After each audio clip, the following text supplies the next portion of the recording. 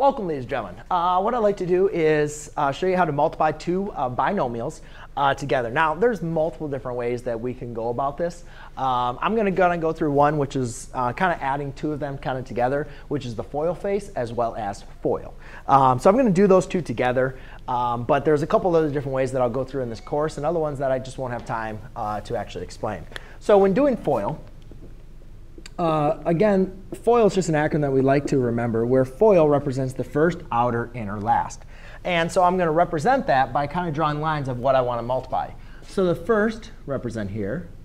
The outer represent here. Um, yeah. Uh, the inner represent here. And then the last represent here.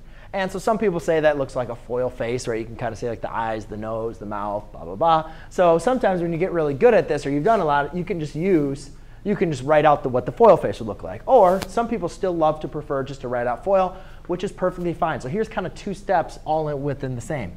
So what I want to do is the two um, terms that I've connected, I want to multiply them. So the first is going to be x times x. The outer is going to be x times 2. The inner is negative 4 times x. And the last is negative 4 times 2. Now we just solve for each one of those. This becomes x squared. This is x times 2. Uh, it just becomes, you know, 2. We like to write it with the number in front. So it's just 2x, right? Because you don't know actually the value of x. So it's just still 2 times x.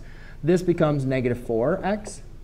And this becomes negative 8. Now, all we want to do is see if we can simplify this, if there's any other terms we can combine. Well, the only terms that have the same variable factors are our outer and our inner.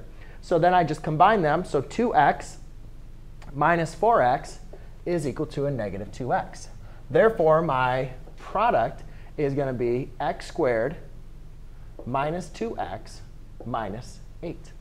So there you go, ladies and gentlemen. That is how you factor a uh, of not factor. That is how you multiply two binomials using FOIL and the FOIL face. Thanks.